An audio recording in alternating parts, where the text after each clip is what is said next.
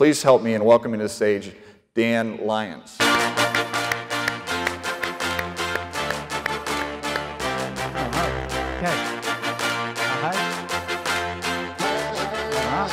Thank you. Uh-huh. Thank you, Brian. Hey, I think, Thanks, uh, I, I, I think you and I are the only guys in this entire audience wearing blue suits, ties, and white shirts. Ah, because you up? told me you were going to wear jeans. and I should wear a suit, and now I'm now I look like you.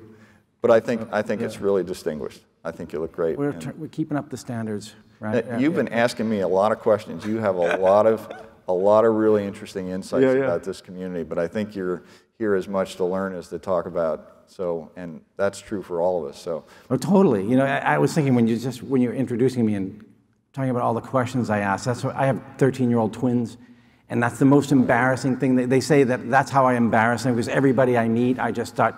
I go into reporter mode. I just start asking questions. It's it's like second nature to me now. But but yeah, I'm super interested in this. all right. Well, these guys all want to hear your insights as well. Well, so I hope I'll have give you the something good to say. Okay. Dan Lyons, everybody. Thanks, Brian. Thank you very much. Hi, guys. Um, so um, I am really, really excited to be here, and I want to thank you all for for coming uh, for what I've been told is the Woodstock of unmanned vehicle systems international uh, conferences. Um, you know this this quote about uh, yeah the brown acid. Just watch out. It's we've had bad warnings about it, but the uh, you know this quote. Um, and this place, to me, as a layperson, has more magical stuff than probably anywhere else on earth, right? I- With a caveat, which is that I studied liberal arts in college, and the, the, the great thing about a liberal arts education is you go to four years of college and you come out and you still don't know how anything works. So everything is kind of magical to me. Stuff that you probably understand to me seems, you know, like magic.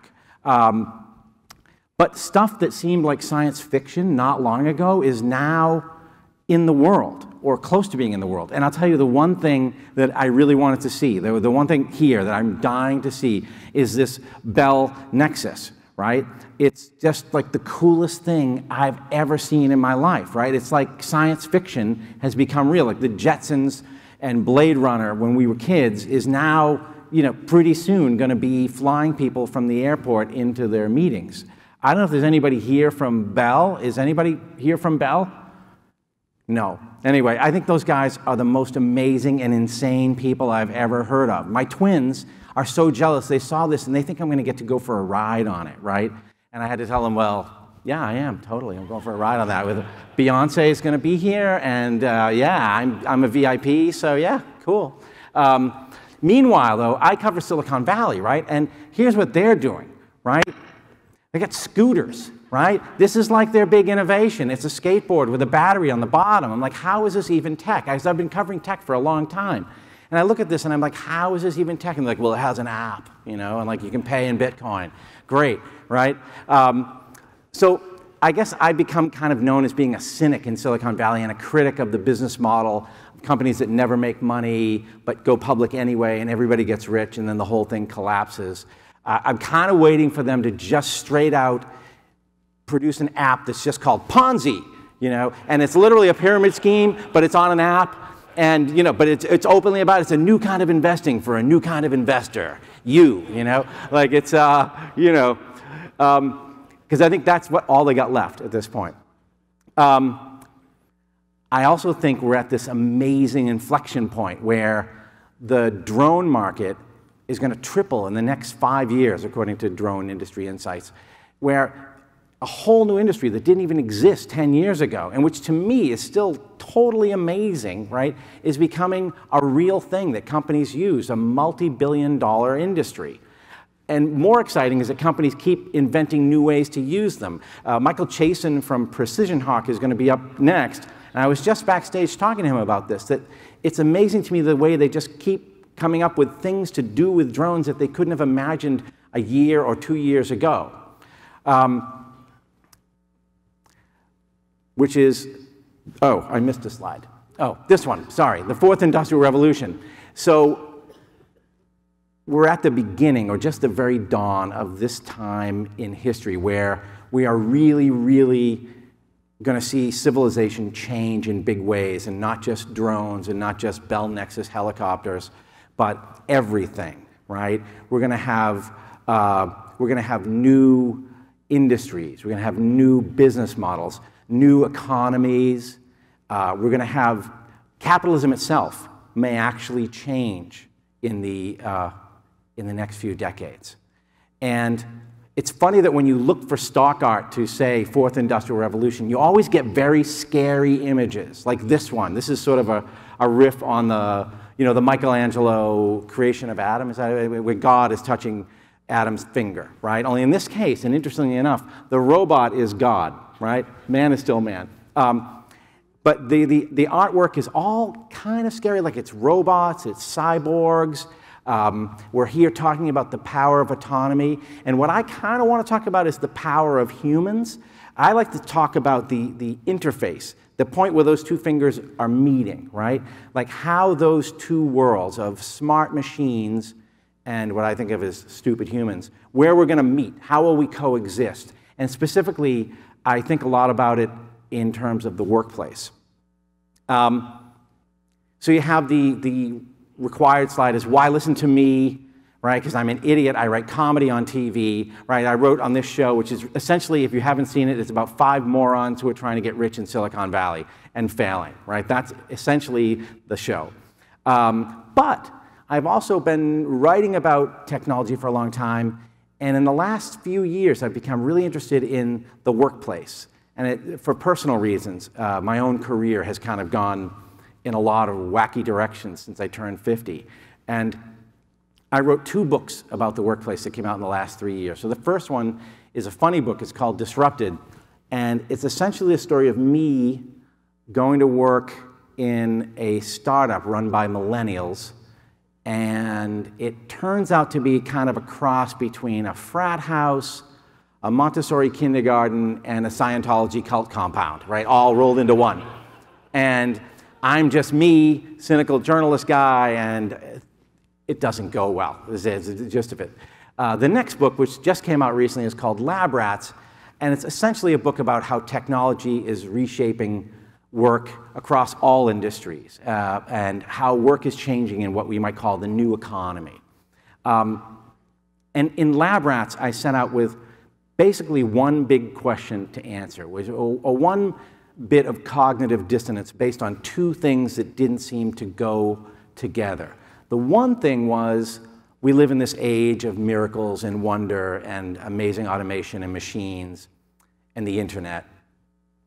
The other thing is people are more miserable than ever before, right? There are countless studies that show in the workplace uh, anxiety, stress, and depression are all on the rise.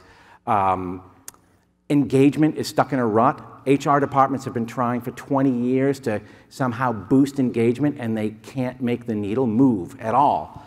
Um, and those two things don't seem to make sense, right? I mean, in the late 90s, when we were at the beginning of the internet, all the projections were about utopia. We were all going to be rich. We were going to have ultra prosperity. We were going to have free time. Work was going to be more democratized. Politics was going to be better because we'd all be so well informed. Um, and so we live in this age of miracles, and yet the misery index has gone up. So what I set out to do is say, why, right? Why did that happen? And I spent a year just traveling around the world and going to conferences and interviewing psychologists and sociologists and anthropologists. I went to Steelcase. Steelcase, the furniture maker, also has a huge research department full of anthropologists who study how people work.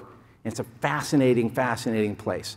I visited startups in Silicon Valley, I visited big companies, and I came up with a handful of things that are in the book that I think are the cause of the misery and then a handful of solutions. And I, I want to just talk about one of them today. And that one has to do with technology. And it's not really technology, it's, um, it's, it's what we do with it. It's like how we implement technology, how we build that interface, or how we haven't thought about that interface between the two worlds, how we manage that interface, I think is a big cause of this unhappiness and very, very easy to fix, right? So right now, this is what we have, right? Uh, this is the two communities, right? And if you look at Jimmy Fallon's face here, he looks like he lost a bet, right? And the WD-40 is a very nice touch that you don't see at first. But anyway, um, Right? Yeah, I know. Oh, God. It's disgusting. Um, but I think this is kind of how a lot of us feel about new technology, even maybe some of us who work in new technology, right?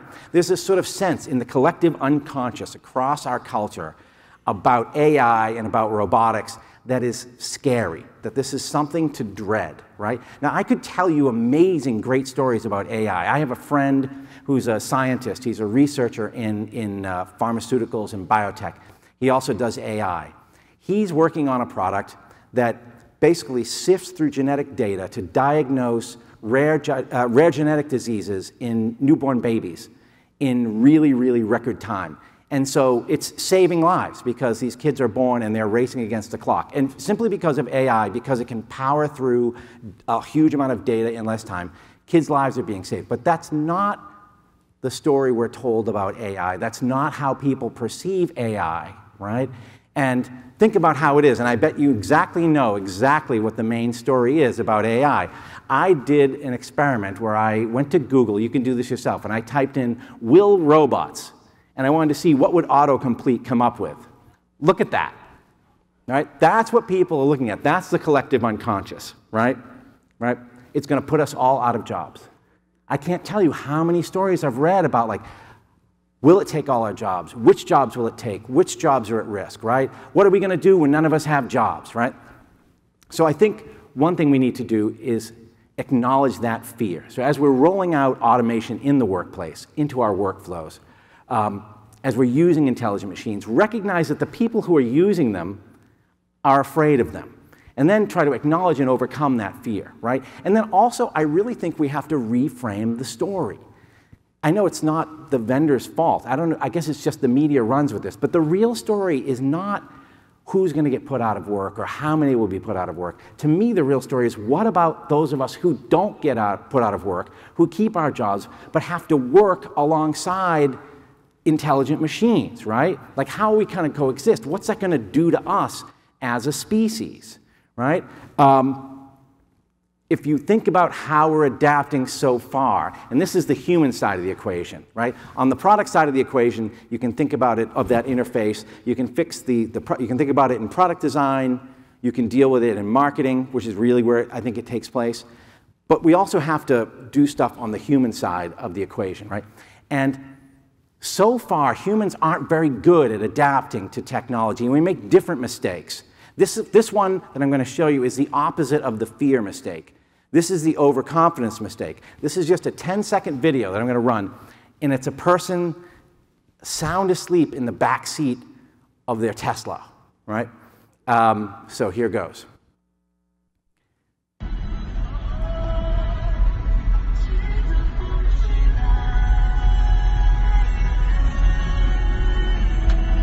Dog. All right, so that scares the hell out of me, right? Um, so that's like the, the guy who wants so badly to believe that this, the Tesla can drive itself that he just thinks it can, right? That because some technology in the future will be able to do something, we have this psychological ability to reel that back into the present and just believe it exists today, right? Another human issue that it brings up is our, our tendency to oversell technology. So, for example, Tesla calls its uh, driver assist technology, autopilot, right? Which, you know, causes some people to infer that the car has autopilot, right? Which it doesn't, right? And the same thing happens in organizations, the same kind of overconfidence. So I'll show you what I mean by that.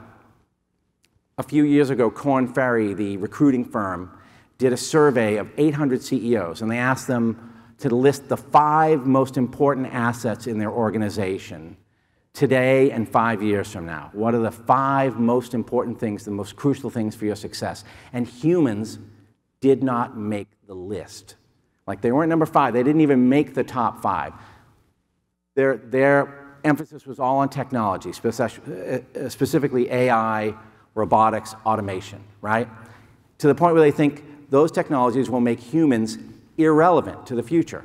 And as you know in your organization, if the boss cares about something, you know, You find out. You don't even have to be told. If the boss doesn't care about something, you also know. So if the boss doesn't care about humans, the employees at these 800 companies know that, right? Which adds to their fear. Rather than alleviating their fear, it compounds their fear, right? And I would argue that those CEOs are sleeping in their Tesla, right? They are believing that right now they can just plump all their, pump all their money into automation and just keep the humans as long as we have to, treat them badly, and just finally we'll get rid of them, right? Another interesting phenomenon is that a new metaphor has emerged for the corporation itself or the organization itself. And in, you know, hundreds of years ago, the, the dominant metaphor was that the human brain is a clock, right? And God is the great timekeeper, God is the watchmaker, right? But now it's that the organization is a computer, right? So this is Ray Dalio. Ray Dalio runs Bridgewater Associates. It's the most successful hedge fund in the world. And he has essentially made a bet that says, uh, we use AI to pick stocks, so why don't we use AI to manage employees, to make decisions? And he's creating an AI CEO, right?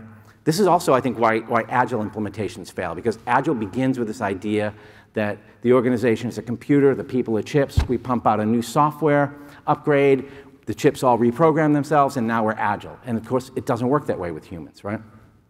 The dangerous aspect of this new metaphor is that the machine becomes central to the organization. It becomes the most important thing, and we just plug into it, right? We're like meat puppets on the end of an algorithm, right?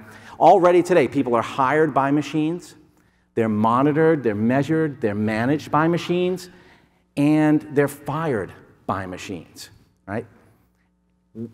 Early in my career, I started working in the early days of the personal computer, and we had the idea we went to work, we went to the office, and we used technology.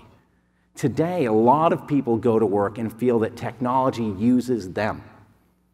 Um, and the effect of this is that people feel dehumanized, right? They're told your incentive, the way to succeed in this company, the way to, to, to adapt is to become as much like a robot as you can. Don't take bathroom breaks, don't take lunch breaks.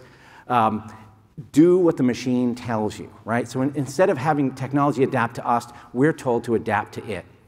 So in lab rats, these are the things I was finding, but then I also found companies that were seeing, had already seen this way ahead of me and were trying to rehumanize a workplace that had become dehumanized, which basically means just putting human beings back at the center of the organization, putting them at number one on that list of most important assets, which, as some of you will know, if you remember a generation ago, again, when my career began, there was a cliche that our best assets walk out the door every night. That was, CEOs said that even if they didn't mean it, right? Now they don't bother even lying, right?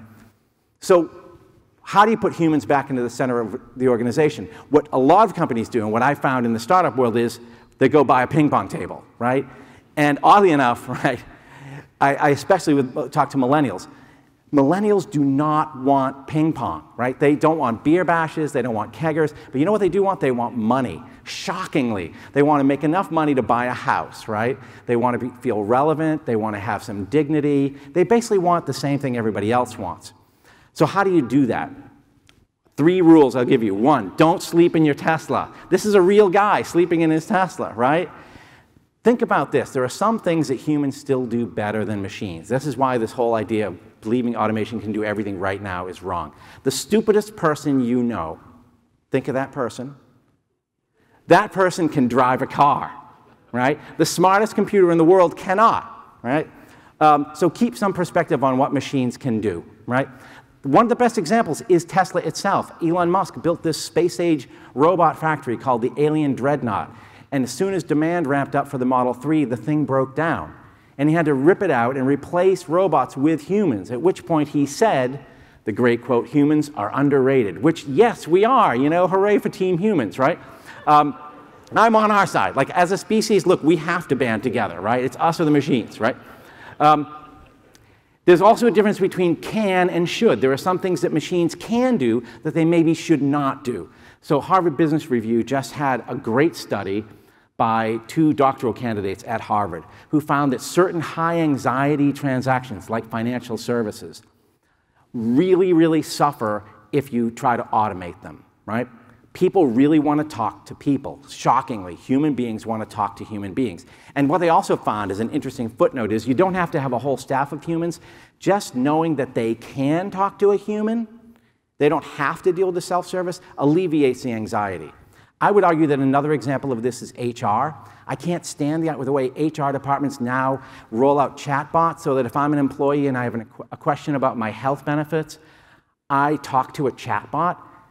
I don't want to talk to a chatbot. I want to talk to a human being. And this is a department that has the word human in its name, right? I mean, it's human resources, right? Um, item number two humans can't change as fast as machines can, and they can't change as fast as we want them to. While doing lab rats, I came across countless studies about what change does to human brains. And it basically overwhelms the brain and it just shuts down, right? Researchers have now been talking about this thing called the acceleration trap, where companies are trying to move so fast and do so much that they actually get trapped and they get nothing out of it. So they'll spend a lot of money on a change initiative and then get no benefit from it. And even though it seems counterintuitive, these two professors from Germany wrote in HBR that you should slow down. Slow down, make the change initiative work, have a period of stability afterwards, and then do the next change initiative. The problem is just that humans can't evolve at the speed of Moore's law, right? And if you want to operate with humans, you have to operate at human speed. Three, invest in your humans, um, right? The best way to, pay, to show people that they're the center of your organization is pretty simple. Like pay them better, provide them with benefits, don't make them contractors.